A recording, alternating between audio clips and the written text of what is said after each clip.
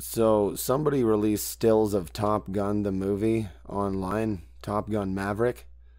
So they look like they're in HDR mode, like they never got a colorist. If that's going to be released on the HDR Blu ray that way, then I assure you I can recolor grade it if needed. I mean, obviously, they were trying to go for this orange look of the original Top Gun for sunsets in certain scenes, and they didn't get it whatsoever. It's just gray, as you can see in the picture here, and my color grade of it.